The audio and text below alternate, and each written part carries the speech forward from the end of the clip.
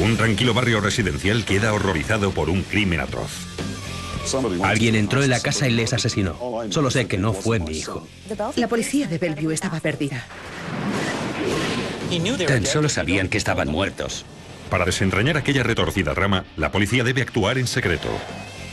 Les engañaron así de sencillo. Habían perdido.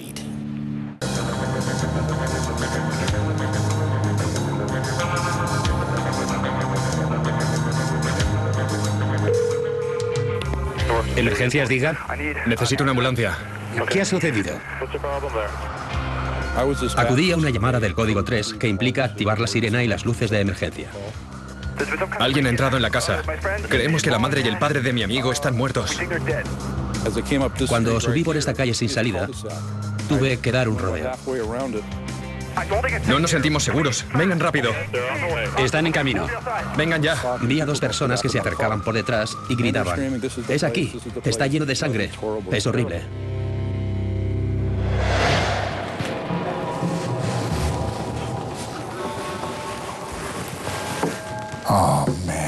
Madre mía. Alguien había sido violentamente asesinado. No quedaba prácticamente nada de la cabeza ni de la cara.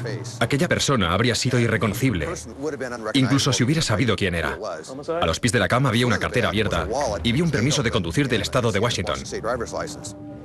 El permiso de conducir identifica a la víctima como Tariq Rafei, de 56 años. Lo primero que pensé fue que se trataba de un suicidio con una escopeta.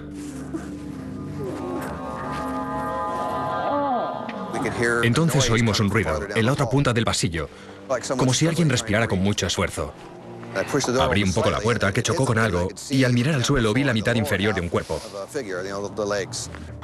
Llama a una ambulancia. Necesitamos una ambulancia. Se trata de Basma Rafei, de 20 años, cuya vida pende de un hilo. Aquí hay otro. Mi colega gritó, aquí hay otro.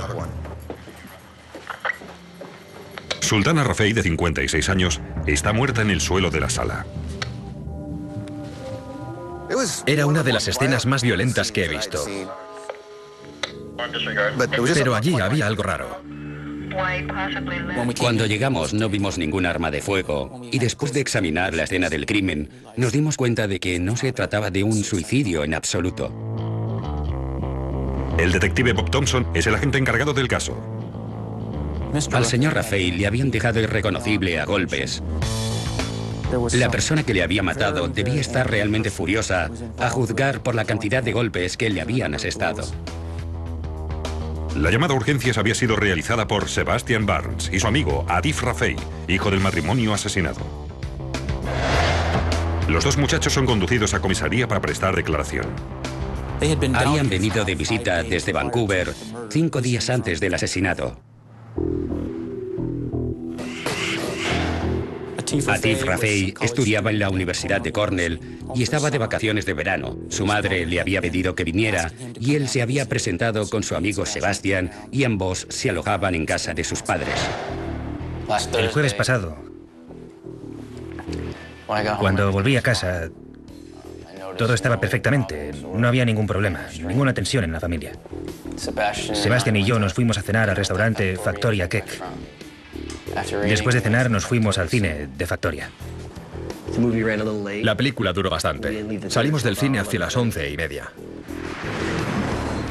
Atif y Sebastian dicen que se marcharon de Bellevue y se fueron en coche hasta un bar de Seattle. Luego dicen haber regresado a casa poco antes de las 2 de la mañana. Entramos en la sala de estar. Vi a mi madre tumbada en el suelo. Dicen que vieron señales de que alguien había entrado.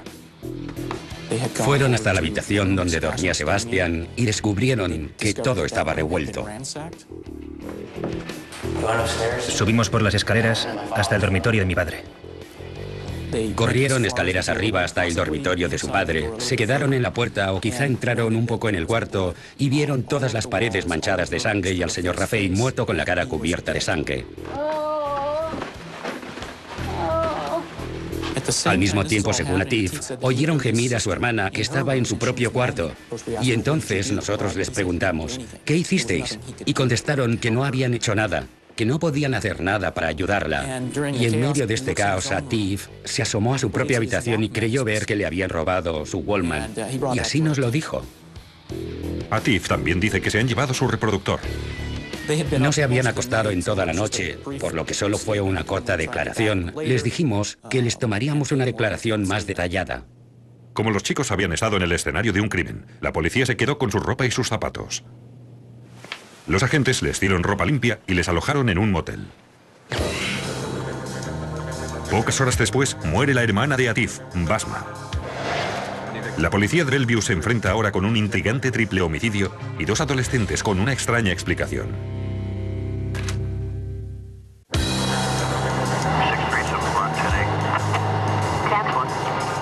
Allí se había cometido un crimen.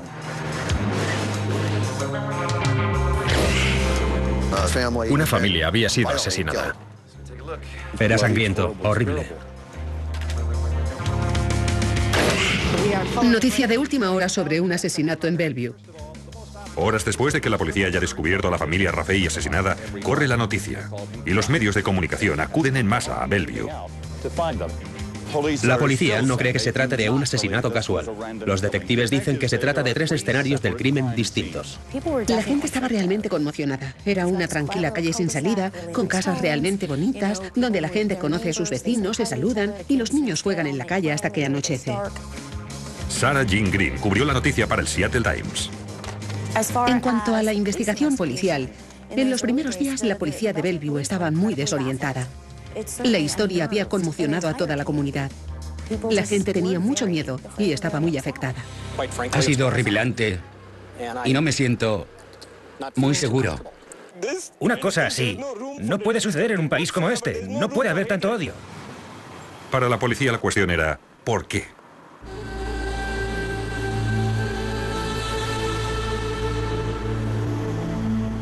Tariq y Sultana Rafei eran un matrimonio religioso originario de Pakistán. Acababan de mudarse a Bellevue tras vivir varios años en Vancouver. Los Rafei eran personas muy bien educadas. Tariq Rafei era un reconocido ingeniero estructural y su mujer, Sultana, era nutricionista. Era una pareja tranquila y muy inteligente. Todos coincidían en describir a Tariq como un hombre muy brillante, reservado, pero con una gran generosidad de espíritu, una increíble amabilidad. Muchos recurrían a sus sabios consejos. Sultana Rafei dedicaba su vida al cuidado de su hija autista Basma.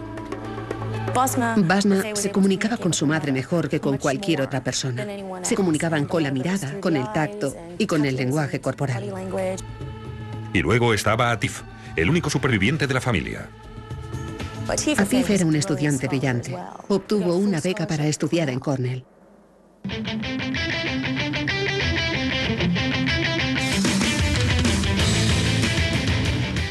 Los investigadores peinaron la casa intentando descubrir cómo había sido asesinada la familia. Al estudiar el escenario del crimen, vimos unas manchas de sangre al lado de la cama, en el suelo. Era una mancha redonda, como si alguien se hubiera apoyado en un bate de béisbol. La misma mancha aparece también en el dormitorio de Basma. En el muro de mampostería de la habitación había unas marcas que parecían haber sido hechas con un bate de béisbol. Era evidente que se había producido una refriega. Estaba claro que Basma conocía a su asesino. Los investigadores encuentran restos de aluminio en el muro. Están convencidos de que el arma del crimen ha sido un bate de béisbol y siguen buscando. Al día siguiente descubrimos sangre en la ducha. Rociamos el plato con un producto químico que reaccionó indicando sangre humana. Sabíamos pues que el asesino se había duchado. Los asesinos no suelen asesinar a toda una familia y se toman luego el tiempo de lavarse. ¿Quién podía haber hecho eso? Ducharse después de matar a alguien. Tenía que ser alguien que conocía aquella casa, a la familia, que conocía las idas y venidas en aquella casa. En el plato de la ducha aparecen 21 cabellos y un solo cabello en la sábana del doctor Rafael. La policía se los lleva para su análisis. Luego, los investigadores examinan la habitación en la que se alojaba Sebastian Barnes. Todo estaba dispuesto para dar a entender que alguien había entrado a robar, pero no se había registrado el contenido de los cajones. Para el detective Thompson, las pruebas no encajan. Teníamos un asesino entrando en la casa, matando a sus residentes y tomando luego una ducha, y había matado a tres personas por un reproductor de vídeo y un Wallman. El análisis de la ropa y los zapatos de Atif y Sebastian todavía levantan más sospechas. No encontramos sangre en ninguna parte, excepto en la parte de atrás de la pernera del pantalón de Atif. Allí había una mancha diminuta de sangre. Entonces, los detectives investigan a fondo su coartada. La noche del asesinato estuvieron muy ocupados. Cenaron en casa. Luego fueron al restaurante Keg y volvieron a cenar. Luego al cine. Al salir del cine fueron a un local y en todos esos lugares la gente recordaba haberlos visto. En el restaurante, el camarero recuerda haber pedido la documentación a los chicos cuando pidieron vino. En el cine, un empleado recuerda a Sebastián Armando jaleo en taquilla. Y en el bar de Seattle, una camarera recuerda que dejaron una propina de 5 dólares tras pagar una cuenta de 8 dólares. El tipo del cine y el camarero del restaurante que se acordaban de ellos. Para Thompson, la coartada es casi demasiado perfecta. Parece un montaje. Los detectives entrevistan de nuevo a Adif y Sebastian en el motel donde les han alojado. Quería obtener información más específica, porque los detalles son muy importantes. Si cuentas la verdad, no te cuesta explicar los detalles. Thompson y Gómez se llevan a Atif a un parque para interrogarle. Parecía sentirse incómodo cuando le preguntábamos detalles. Solo quería hablar en general. ¿Creías que tu madre estaba muerta? Le dije, ¿cómo sabías que estaba muerta? Y contestó, era obvio. Repetí, ¿qué quieres decir con que era obvio que estaba muerta? Pero no supo contestar. ¿No intentaste hacerla hablar? Sí, le hablé. Bueno, no grité. Pero le hablé entre dientes. No había hecho nada, y era su madre. Entras en tu casa y te encuentras a tu madre de bruces con la cara en un charco de sangre y no corres a su lado, le das la vuelta o le hablas. Luego dijo que oyó a su hermana gimiendo en el dormitorio contiguo con la puerta cerrada. ¿Y qué deduces de eso? Que está viva. ¿Que está viva? ¿Y qué haces entonces? No hice nada. Y esta respuesta fue lo que más me hizo sospechar. Tu hermana está gimiendo, sabes que es autista, que no puede hablar. ¿Qué haces entonces? Y él contestó, no sé, primeros auxilios, no puedo ayudarla. Y le dije, ¿cómo sabías que necesitaba ayuda si ni la habías visto? El comportamiento de Atif tras los asesinatos también sorprende a la policía. No ha llamado a ningún miembro de la familia. Nos pusimos en contacto con familiares de Atif para pedirles que se hicieran cargo de él. Necesitaba ayuda. Estaba aquí en Estados Unidos, pero era ciudadano canadiense. Había perdido a toda su familia. ¿Cómo iba a vivir? ¿Cómo iba a comer? Cosas así.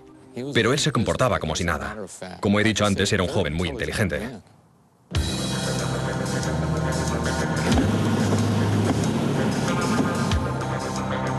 Llamé a la policía de Bellevue, la primera de unas seis llamadas. Le dije, ¿por qué motivo están detenidos los chicos? Y él me dijo que porque preguntaba eso, si tenía algún motivo para preguntarlo. Hay que recordar que en aquel momento yo no había recibido ninguna llamada en absoluto de la policía de Bellevue diciéndome que mi hijo se encontraba en una situación horrible y que no me preocupara, que estaba bien.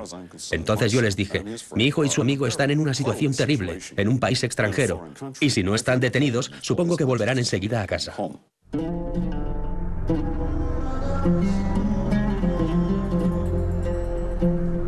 Dos días después de los asesinatos, el viernes 15 de julio, se celebra el funeral de los Rafei.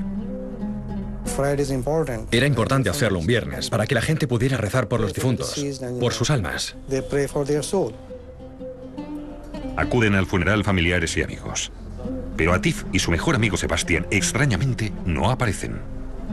La familia estaba muy preocupada al ver que no acudían al funeral. ¿Dónde estaban? Cuando la policía encuentra la pista de los chicos, es demasiado tarde.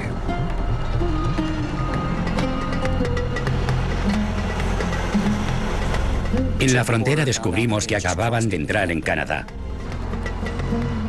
La marcha repentina de los chicos consolida las sospechas de la policía. Atif y Sebastian son ya sus principales sospechosos.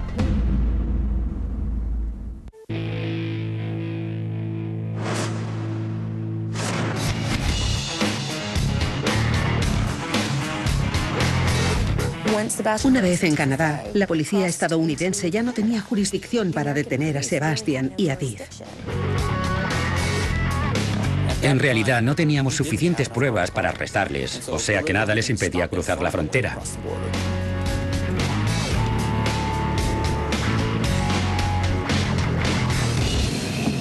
Me encontré con los chicos en casa. Mi mujer había ido a buscarles a la terminal de autobuses y pusimos la televisión para ver si daban alguna noticia sobre este asunto.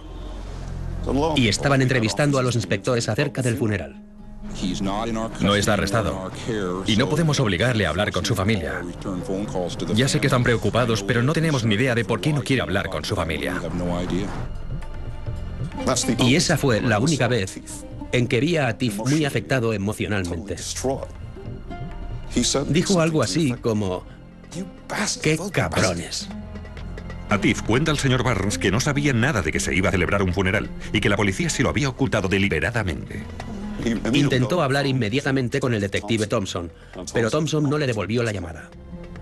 Aquella misma noche, Sebastian visita a su novia del instituto, Sarah Isaacs. En cuanto estuvo de regreso, Sebastian vino a verme, pero no dijo gran cosa. Se comportaba como si acabara de vivir una experiencia horrorosa, y cuando me atreví a preguntarle qué había pasado, parecía abochornado, incapaz de hablar del tema.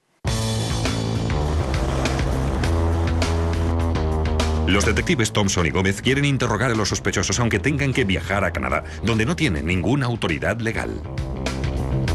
En Canadá ya no jugábamos en nuestro campo. Aquí no tenían ninguna autoridad. Ni siquiera podían llevar armas. De manera que me correspondía a mí introducirles, explicar por qué estaban aquí y ayudarles a interrogar a la gente. Fontaine y los detectives encuentran a Atif en casa de un amigo. Los detectives preguntaron si podían llevarse a Atif a almorzar para hacerle unas cuantas preguntas. Vamos, Atif, te invitamos a almorzar. Pero Atif rechazó su oferta y les dijo que si tenían algo que preguntar, se lo preguntaran allí mismo. A lo cual le respondieron, venga ya, Atif, no nos vaciles, ven ahora mismo. A partir de aquel momento, Atif y Sebastian se niegan a hablar con las autoridades. Sin poder hacer otra cosa, los detectives investigan su pasado. En el instituto, Thompson averigua que Sebastian y Atif están considerados como los mejores y más inteligentes alumnos. Sus compañeros recuerdan que ambos estaban enamorados del filósofo Nietzsche. Algunos seres humanos son muy inteligentes. Y esas personas que son tan inteligentes son todavía más responsables ante el resto de la humanidad. Deben utilizar esta ventaja como es debido y no considerarse por encima de cualquier regla ética o moral. Una de las primeras profesoras que entrevistamos conocía tanto a Tiff como a Sebastian y cuando le dijimos que estábamos investigándoles en relación con el homicidio de Bellevue, su primera reacción fue, bueno, cuando piensas en Sebastian Barnes, enseguida te acuerdas de David Koresh. Siempre le habían dicho que era un alumno muy brillante y creo que estaba convencido de ello. Su actitud y su comportamiento social también son algo torpes, por lo que parece todavía más arrogante de lo que es en realidad.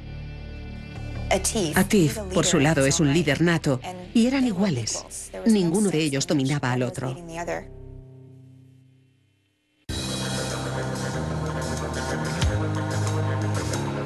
Al parecer, ambos creían ser más listos que la policía. Mientras tanto, en Bellevue, los investigadores estudian al milímetro las declaraciones de Atif y Sebastián.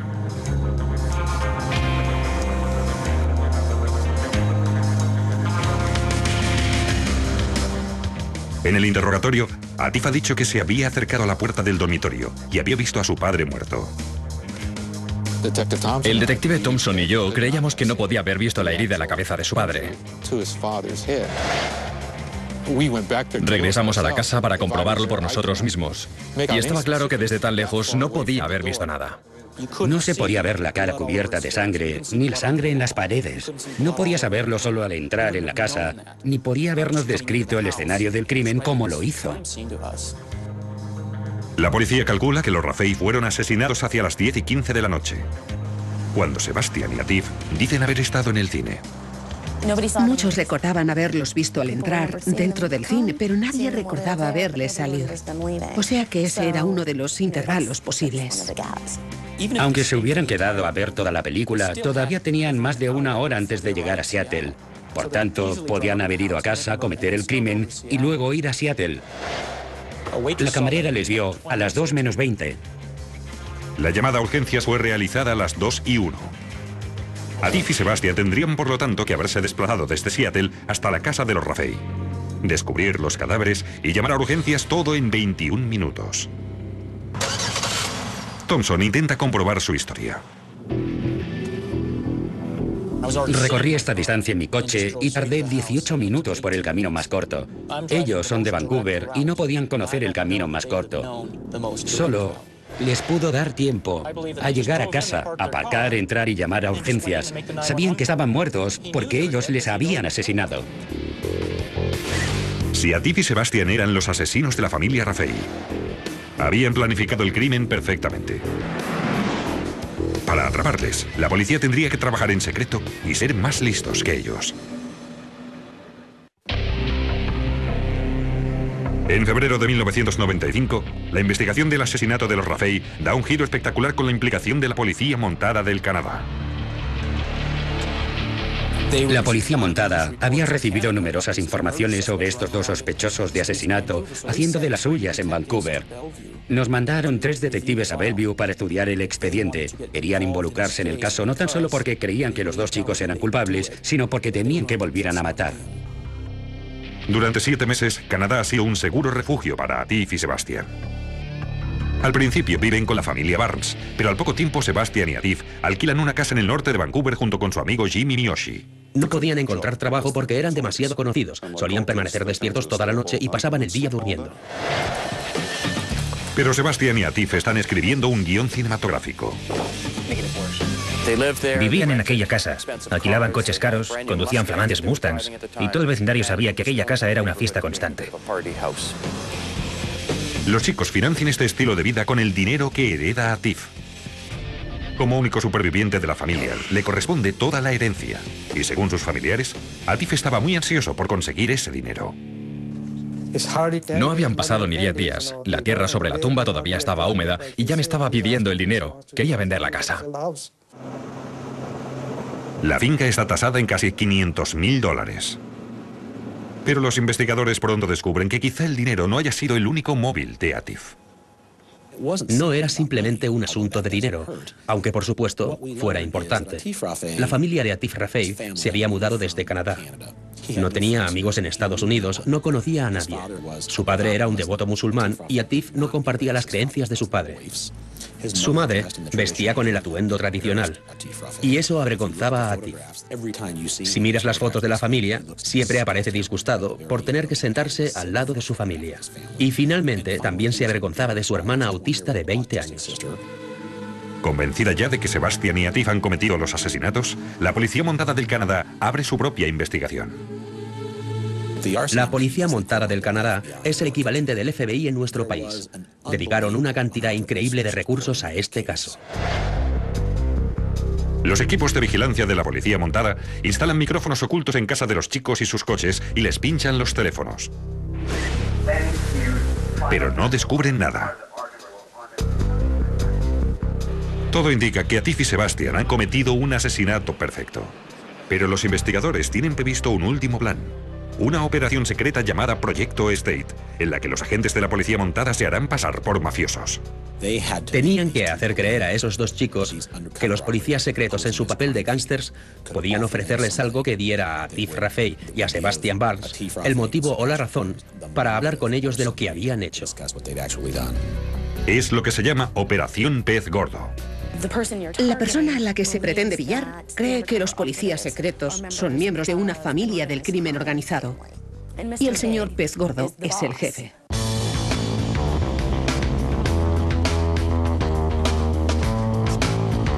Los agentes siguen a Sebastián hasta una peluquería de la ciudad. En el aparcamiento, un agente de la policía, haciéndose pasar por un mafioso, se acerca a Sebastián. Dice que se le ha atascado la puerta del coche y que necesita que le lleve. No puedo entrar en el coche. ¿Me llevas? Vale. El trayecto en coche acaba en un bar cercano para tomar una copa. Allí, Sebastián cuenta al mafioso el argumento del guion que está escribiendo con Atif. Trata de dos jóvenes inteligentes y brillantes erróneamente condenados a muerte por asesinato. El gángster dice que conoce quién puede ayudarles a documentar la película. Al volver a casa, Sebastián cuenta a sus amigos su encuentro. Espero que nos encontremos con él esta noche. Durante los siguientes meses se producen varios encuentros en los alrededores de Vancouver entre Sebastian y los mafiosos. Y cada vez Sebastian informa de ellos a Atif. Y según dice Gary, es de fiar. Es su jefe. No le conoce demasiado bien, pero confía en mí. Vale la pena mantener el contacto. El plan parece funcionar. Ahora que los agentes se han ganado la confianza de Sebastián, el señor Pez Gordo le confía una misión. La primera vez que blanquearon dinero en Vancouver, pagaron a Sebastián y a Jimmy dos mil dólares por su colaboración. Y se les oyó decir a su mejor amigo, sin la presencia de los policías secretos, que eso de delinquir es genial. Mira eso, dos mil dólares. Con el paso de los meses, Sebastián empieza a sentirse uno más de la banda. Y finalmente, cuenta a sus amigos mafiosos que la policía de Bellevue está fabricando pruebas contra él mismo y su amigo Atif para culparles del triple asesinato en Bellevue. Habían mantenido una conversación con Sebastián en un hotel en la que éste empezó a hablar de destruir pruebas y les preguntó si podían ayudarle a destruir evidencias en Estados Unidos. Y aceptaron ayudarle. Salud. Un par de semanas más tarde, los agentes ocultan una cámara de vídeo en una habitación de hotel. Luego, Sebastian recibe una lista ficticia de pruebas. Los agentes secretos le dicen que pueden destruirlas, pero con una condición. Le dicen que si confiesa y cuenta toda la verdad, entonces se servirán de sus conexiones para destruir esas pruebas. Mira, será mejor que me lo cuentes todo, porque si os detienen, ¿a quién delataréis primero? Pues a mí. Y yo no puedo poner así en peligro a mi organización. De alguna manera lo que daba a entender era que le matarían porque sería una amenaza para él y para su organización criminal si la policía le detenía. A los pocos minutos, Sebastian empieza a hablar. Nada. Eso fue lo que sucedió. Bueno, pero ¿qué pasó? Más o menos. Eso fue, sí. Quiero decir... ¿Y cómo os cargasteis a los tres de golpe? Fue uno detrás del otro. ¿Dónde está Gary? En el baño. Días después, Atif también se reúne con ellos. ¿Qué tal el viaje? Poco interesante. ¿Pero hacía suficiente calor para ti? Sí, mucho. En menos de 15 minutos, aunque es la primera vez que se encuentra con ellos, está tomándose tranquilamente una cerveza y confiesa con risitas, como una niña pequeña, el asesinato de su madre, su padre y su hermana autista. ¿Intentaron defenderse?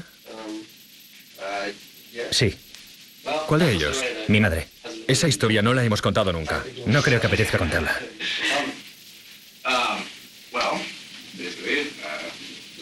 Básicamente lo del padre no fue nada.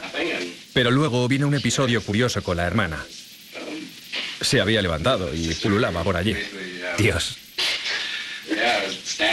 Y tuvimos que darle más veces con el bate de béisbol.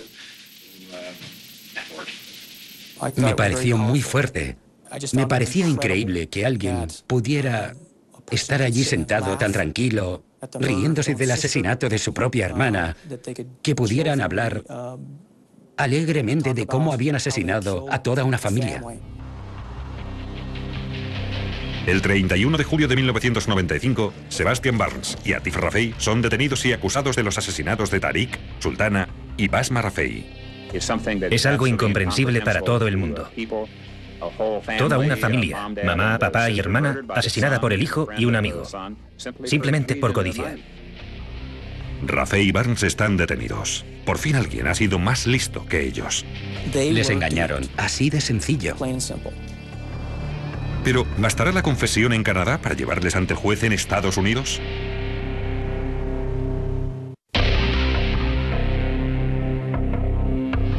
Alguien entró en la casa y les asesinó. Solo sé que no fue mi hijo y que no fue a ti. La Policía Montada de Canadá realizó anoche una detención relacionada con nuestra investigación. Me llamó un abogado diciéndome que los chicos habían confesado. Fue la primera noticia de que estuvieran siendo investigados. Ante la policía, Barnes y Rafael afirman que son inocentes, que tenían tanto miedo de los mafiosos que solo dijeron lo que estos querían oír. En más de una ocasión, los agentes secretos fueron a buscarle a su casa para llevarle al lugar de reunión. Organizó voluntariamente su propio traslado o pidió a uno de los agentes secretos que fuera a buscarle a algún lugar lejos de su casa. Y en todas las ocasiones lo hizo porque quiso. Mientras tanto, la Fiscalía estadounidense solicita la extradición de Barnes y Rafael y pide la pena capital para ellos. Pero el caso tropieza con un serio problema. Lo único que se pide para entregar a los dos acusados es la garantía del gobierno de Estados Unidos y la garantía del gobernador de Washington de que no serán ejecutados. Van pasando los años. Habían pasado dos años desde su detención en Canadá y seguían allí. Nosotros queríamos resolver finalmente el caso. Era muy frustrante y dos años es mucho tiempo de espera.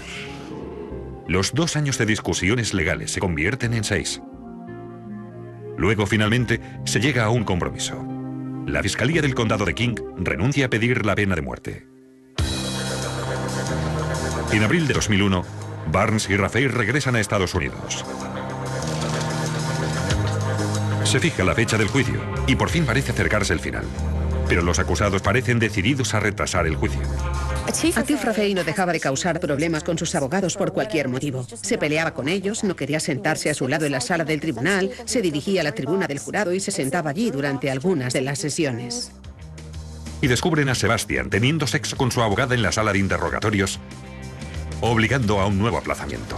Ella negó haber realizado el coito. Explicó en su defensa que solo le había dado un abrazo y la cosa había ido a más. Algo bastante difícil de creer a juzgar por la descripción dada por los funcionarios de prisiones de lo que vieron. Estoy bastante seguro de que a Teresa le gustaba realmente mi hijo. Es un chico muy atractivo. En marzo de 2004, casi 10 años después del triple asesinato, empieza por fin el juicio.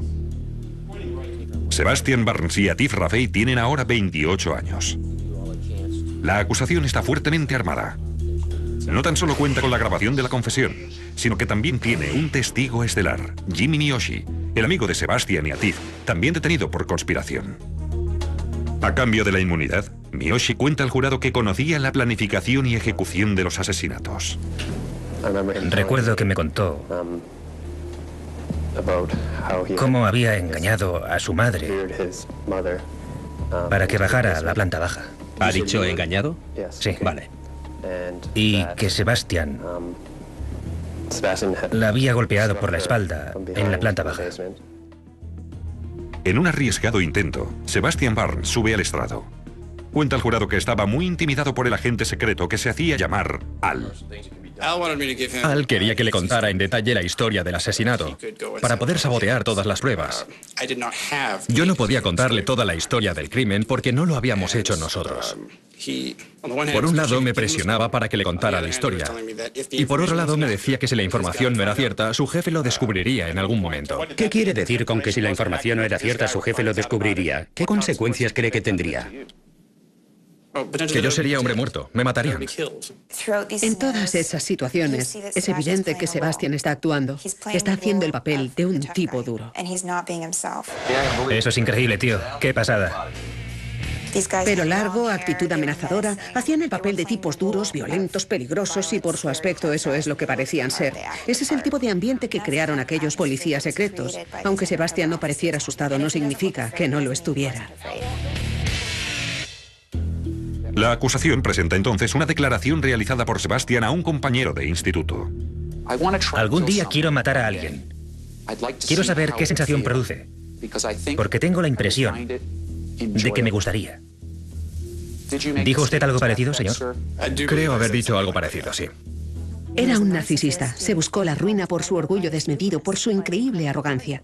De alguna manera, Sebastian Barnes creía haber planificado el asesinato perfecto, pero cometió el grave error de hablar de ello. Eso era por lo menos lo que sostenía la acusación. Habían perdido. Se toparon con dos tipos más listos que ellos, y Sebastian no fue suficientemente listo para darse cuenta. No asesiné a la familia Rafael, no lo hice. No cometí ese crimen. Gracias. Apártense, por favor.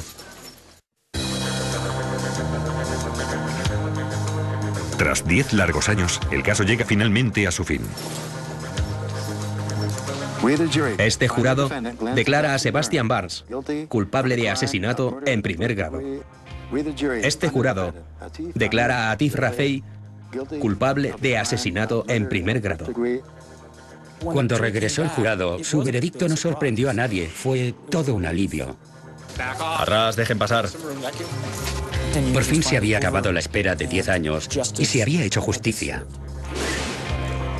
Antes de dictarse su sentencia, Rafael y Barnes hacen una declaración. Mi madre Era la persona que más he querido en toda mi vida.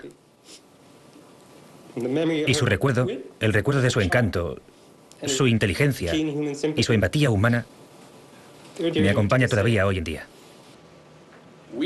No hemos podido hablar al jurado de otros sospechosos de los que sabían cuál había sido el arma del crimen antes de que nadie más lo supiera.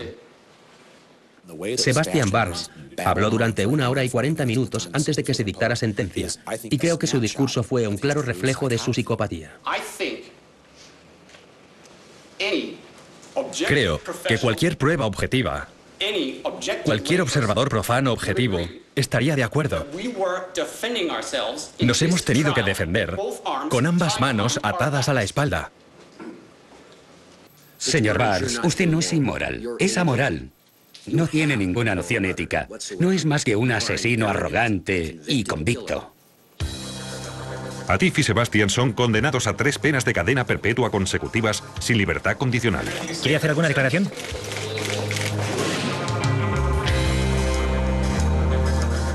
En Vancouver, Sarah Isaac sigue decidida a conseguir la libertad de Atif y Sebastian. Tanto el veredicto como todo lo que había sucedido me puso furiosa. Y esta furia me ha empujado a animar a la gente a estudiar los hechos de este caso. Porque cualquier persona razonable decidiría que son inocentes.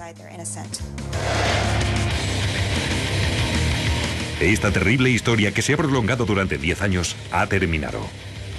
Para los agentes es una victoria ganada tras años de paciencia y persistencia. Pero para ambas familias solo queda una inmensa tristeza. Qué desperdicio. Dos vidas tan jóvenes y brillantes. Por supuesto eran dos mequetrefes arrogantes en la escuela, pero ahora son asesinos convictos. Toda esta historia es increíblemente triste. Toda una familia borrada del mapa y dos jóvenes vidas han quedado truncadas.